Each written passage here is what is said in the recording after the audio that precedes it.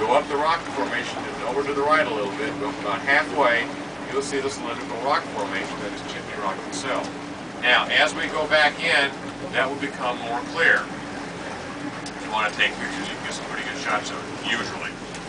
Also sitting in this position, if you look to the right of the cove a little bit, and you use your imagination, you'll see what the Indians used to call Sleeping Lady.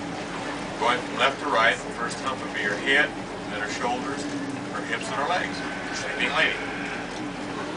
That's bad.